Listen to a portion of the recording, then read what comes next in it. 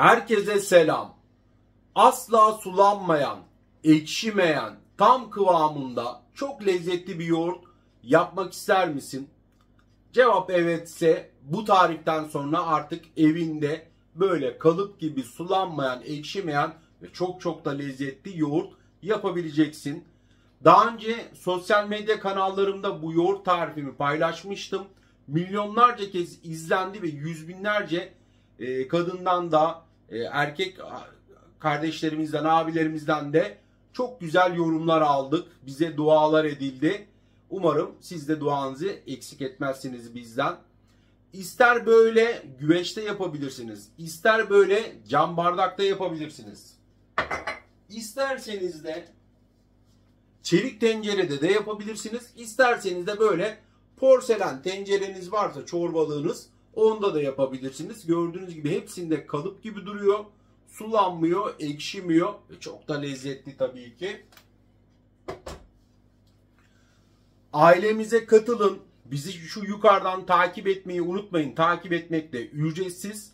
Videolarımızda birçok yemek tarifini, içecek tariflerini, pratik tarifleri böyle anlatımlı ölçüleriyle bulabilirsiniz. Ve en önemlisi bu videoyu atlamadan detaylarıyla adım adım izleyin ki nasıl yaptığımı tam olarak anlamış olun. Zaten bir kere anladıktan sonra, öğrendikten sonra diğerlerini siz kendiniz rahatlıkla yapabileceksiniz. Başlamadan önce de şöyle yoğurdumuzun kıvamını merak edenler için hemen şöyle canlı canlı bakın gösteriyorum. Bismillah.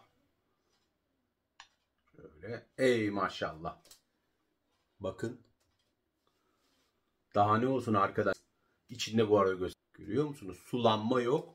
Kalıp gibi yoğurda. Daha doğrusu kaymak gibi de diyebiliriz.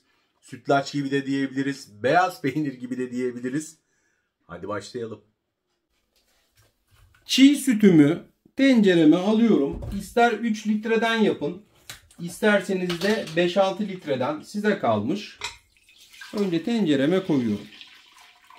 Tabi marketlerde satılan günlük sütler var. Kutu değil bakın. Şişede günlük diye bildiğimiz sütlerden de yapabilirsiniz. Ben bazen günlük süt diyorum. Market sütüyle olur mu? Şununla olur mu diye yorumlar geliyor çünkü. Önce sütümüzü tenceremize alıyoruz.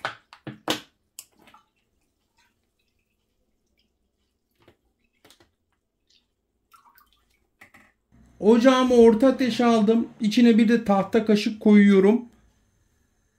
Taşmasın diye içine porselen tabak da koyabilirsiniz. Size kalmış. Ben şu anda 6 litre çiğ sütten dediğim gibi e, yoğurdumu yapacağım.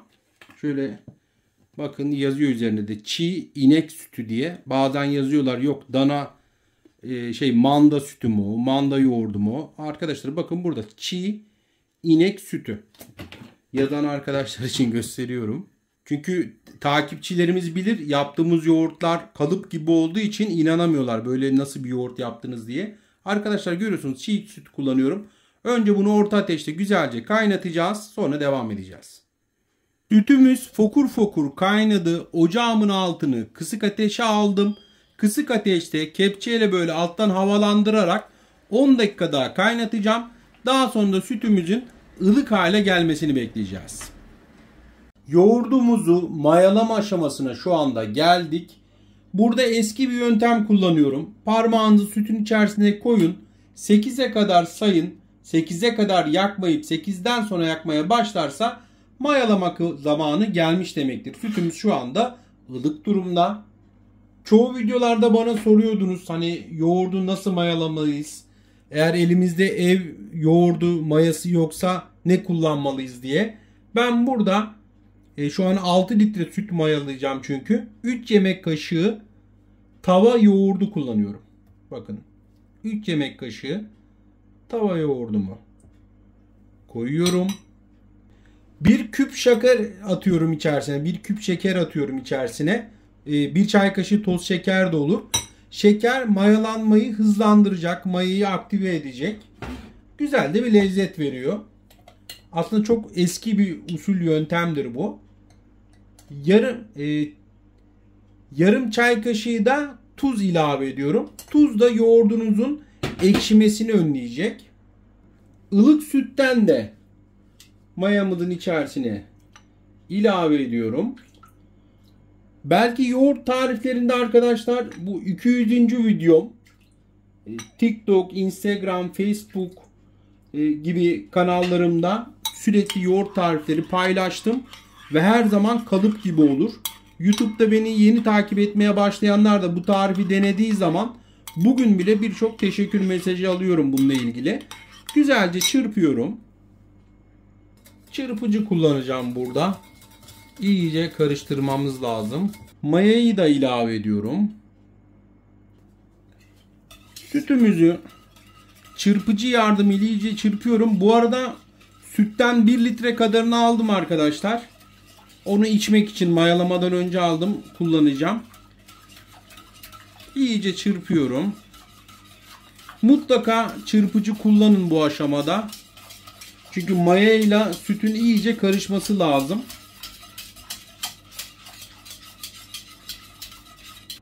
Porselen çorbalığım var. Onun içerisine koyacağım.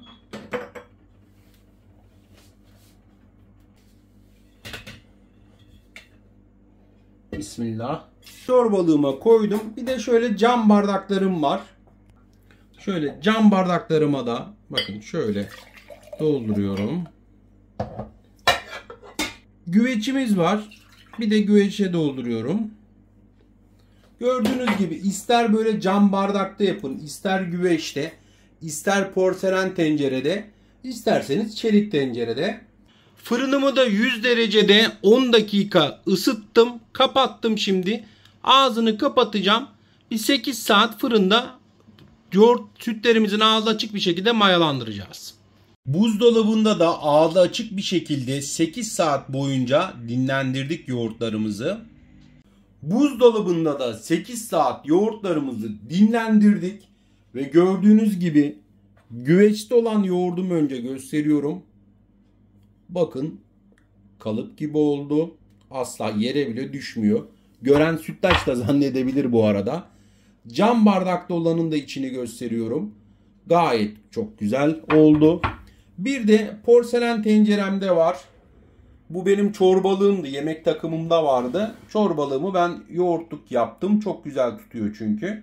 Bakın beğenmeyi, deneyenlerden yorum yazmayı lütfen unutmayın. Ailemize katılın. Yeni tarifleri de kaçırmayın. Takip etmek zaten tamamıyla ücretsiz. Videolarımızda birçok yemek tarifini böyle anlatımlı ölçüleriyle bulabilirsiniz. Sizleri seviyorum. Herkes de yemek yapabilir. Görüşmek üzere.